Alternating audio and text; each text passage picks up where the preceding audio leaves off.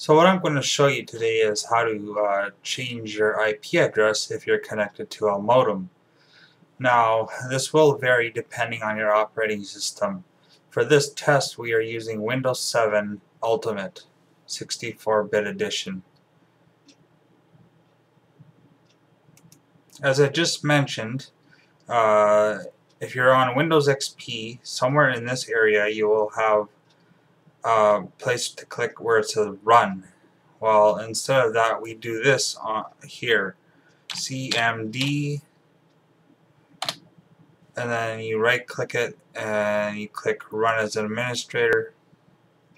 When you're prompted to, you click yes or no. And we're going to click yes. And now this is open.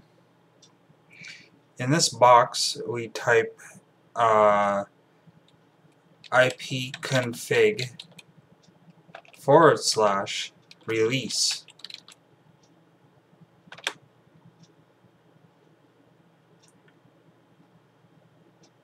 Now the next thing you want to do is type ip config forward slash renew.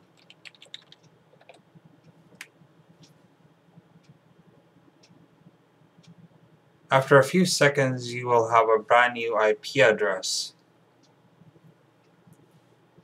And that's how you refresh your IP when you're on a modem and and there's no router involved. What you're going to want to do is open your Internet Explorer or web browser, uh, Firefox, Chrome, whatever you use. So you go down to here, uh, if you're on Windows 7, you open your web browser, go up to the address bar, type in your router's gateway. Mine is not default, but most of the time they are 1.192.168.0.1. Uh, Mine is different. Next, you're going to want to type in your uh, username for your router and the password.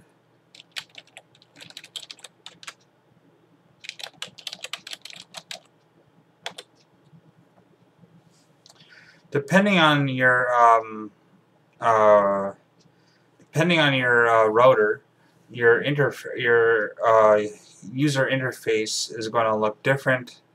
Um, your settings will look different. Uh, mine's fairly simple um, and the way to renew the IP is to simply click disconnect.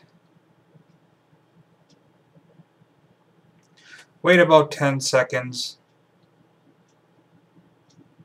and click connect again. And there you go you have a brand new IP address Now if you have a static IP address it's very hard to change.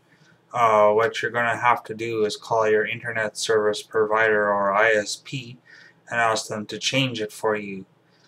Some ISPs will not change it for you unless you pay an additional fee which gives you a block of static IP addresses.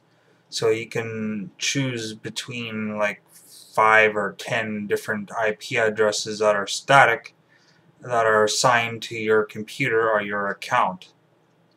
So if you have an I static IP address, you will have to call into your internet service provider and have them change it for you.